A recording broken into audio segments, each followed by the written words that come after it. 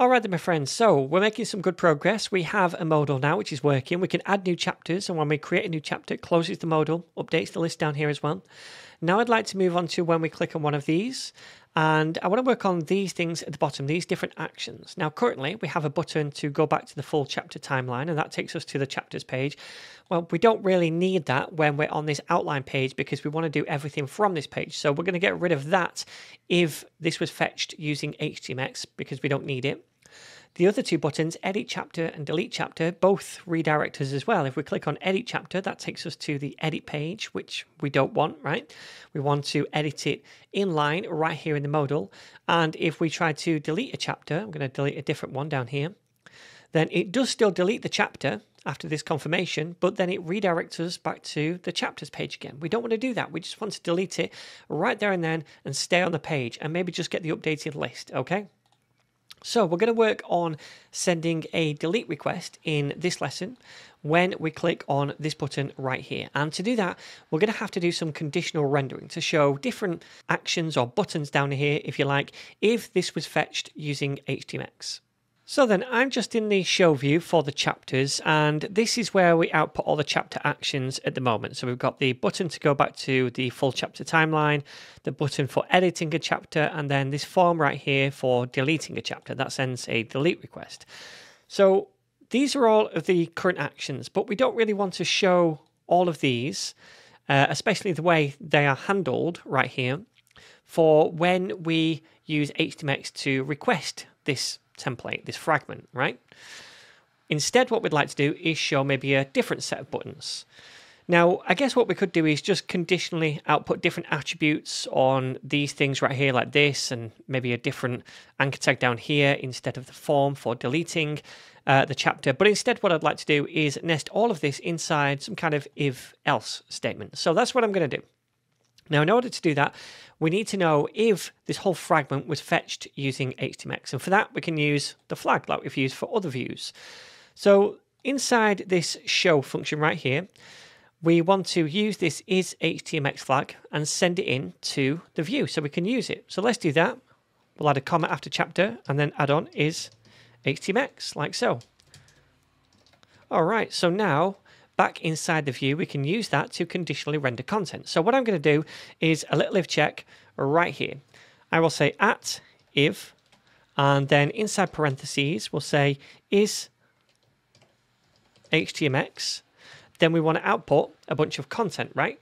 Now, if that's not the case, we can add on the else clause. So let's do an else down here at else, and we will render all of this. If it's not an HTMX request, and then we need to close that little if check right at the bottom by saying at end if.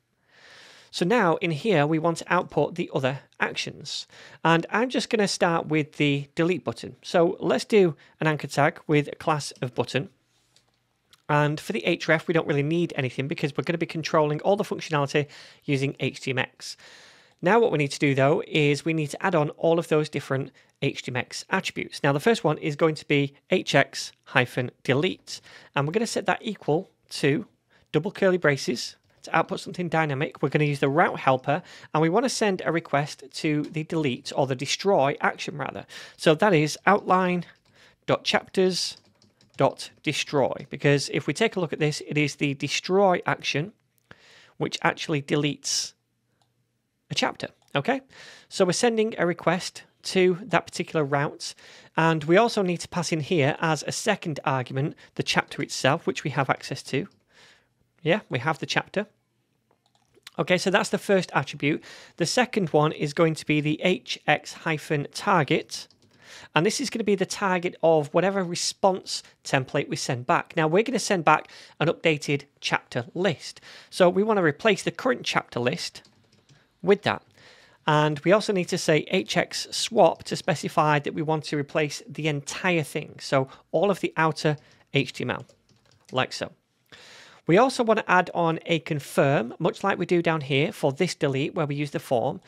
We say on submit and we return a confirmation to say, do you want to really delete this chapter? Well, we're going to do the same thing using HTMX and we can do that by saying hx hyphen confirm. This does exactly the same thing and we're going to set that equal to the message we want to show. And I'll just copy this thing right here so we can paste it in up here. All right, and that's pretty much it for now. All right, so now when we view this, hopefully, because we're fetching this on the outline page, uh, page using HTMX, it's only going to show this action and not this one. And therefore, when we click on this button, it's going to send that delete request to delete the chapter. Okay, so we're going to try this out now, but I'm going to warn you in advance that it won't work and we're going to get an error instead. But I wanted to show you that error and explain why it doesn't work. So I've already got open the network tab and I'm going to click on a chapter title now, and then I'll click on the delete button inside it.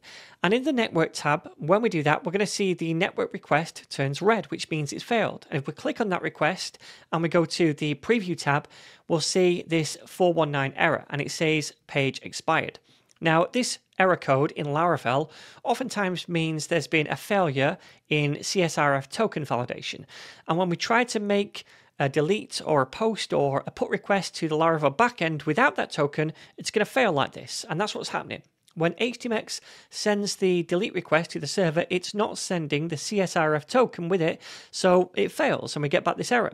So we need to manually add that token to the HTMX, uh, request headers, and we can easily do that using an HTMX attribute called HX headers. Now, if you're completely new, by the way, to CSRF, which stands for Cross Site Request Forgery, then definitely check out my Beginners Laravel series because I go into a lot of detail about that in there. For this series, I am assuming you already know the basics of what that is, and we're just going to go about fixing this error.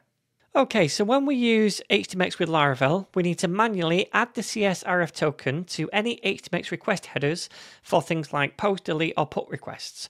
Now, when those requests are made from standard forms in Blade components, like when we create a new chapter, for example, we can use the CSRF Blade directive to add the token for us. But when we're not using a form, like in the case for the delete request, which is coming from clicking an anchor tag, we can't use that directive. And instead, we need to use an additional HTMX attribute called HX headers and we can use that to add the CSRF header to the request. So we could add that attribute directly to this anchor tag to do that and supply the token value and that would work. But also what we could do is we could add the attribute to the body tag inside the app.blade.php layout file. And if we do that, it means that any HTMX request we make within the body inside the entire application will have that header automatically applied to it. Otherwise, we'd have to do it individually for everyone that we've made like this. So what we're going to do is apply it to the body for now because I think we'll need it later on as well. So let's say hx hyphen headers, and then we want to set that equal to a string. Now inside here we supply an object, so curly braces, and then inside the object a property name in double quotes, which is going to be x hyphen csrf hyphen token, and then we need a colon after that. For the value, we'll use double quotes again, and then we need this to be the CSRF token provided by Laravel. Now we can easily access that using a function provided to us called CSRF underscore token. So let's use double curly braces first of all because we need to use some dynamic code. And then we're going to use that function CSRF underscore token and I'm going to invoke it. And this means that now when we make a delete request from the anchor tag, we're going to be sending the token with the request and Laravel won't reject it. So let's give it a whirl. All right, so we're going to try this now, and I'm going to click on one of these titles down here. Now, when we click on delete chapter, it is still going to cause an error at some point, but it will still perform the delete request. The other error is because of the way we're handling the request on the back end at the minute. It's nothing to do with the CSRF token anymore. So let me try deleting this chapter, like so, press OK, and we should see that this one right here is now working. It has been deleted. However, we get the error later on right here, okay? So we'll sort that probably in the next lesson, but what I want to show you for now is that if I refresh, we've got six chapters currently.